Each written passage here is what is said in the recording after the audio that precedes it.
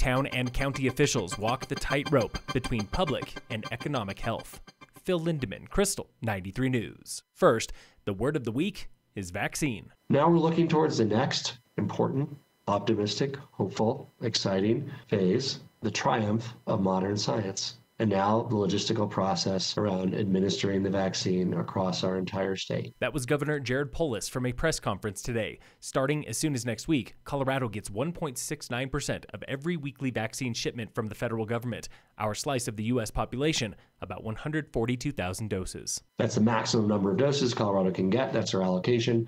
We obviously want more, uh, and we expect more over time, but that will be the initial amount. Summit County gets a sliver of the Colorado shipment. Sarah Lopez with Summit Public Health. There's strategies that they're weighing, but they will be implemented uniformly, it feels, at the, the national, state, and then, of course, the local level. Doctors and nurses with direct COVID contact are first in line, followed this spring by at risk populations, including grocery workers and teachers. General public comes this summer.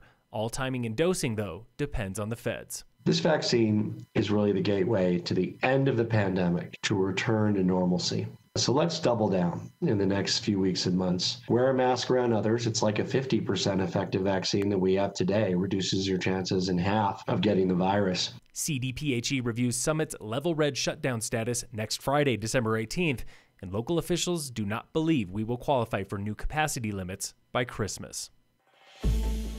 This week on the State of Summit. 2021 is unknown at this point, and really 2020 was unknown for a lot of the budgeting process. That was Mayor Carolyn Skowyra of Dillon on the headache of balancing a budget in the time of COVID. The summer months were strong. You know, the shutdown was bad, the spring was hard, but the summer months were good. So we think if that continues next year, we, we might be able to maintain that middle of the road hope. For Summit County, spending next year will be flat after growing about $9.5 million annually from 2016 to this year.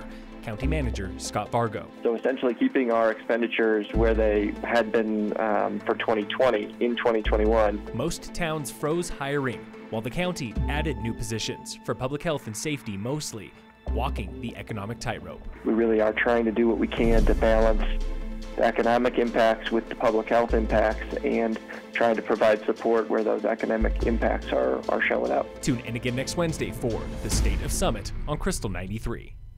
Town of Breckenridge has named six locals to its first ever Social Equity Commission. Says new commission member Alexandria Carnes, I wish to serve with humility, kinship, and grace, working closely with town council. 41 people applied, inspired by solidarity demonstrations and marches this summer, here locally and nationally. And in local sports, brought to you by American Family Insurance, the Weiss Agency, you've still got time to sign up for Ullr Bike, the opening race of a four part virtual fat bike series. Ullr Bike is this coming Saturday, December 12th at Gold Run Nordic Center in Breck. Get your details at mavsports.com. Phil Lindeman with your news from Avalanche Physical Therapy on Krystal 93.